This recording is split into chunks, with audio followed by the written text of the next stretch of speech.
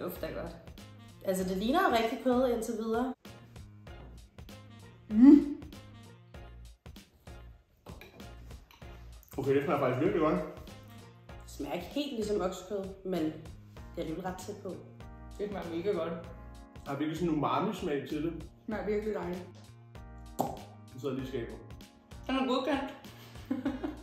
Jeg tror lige, jeg hopper ud, og ser om der er noget mere.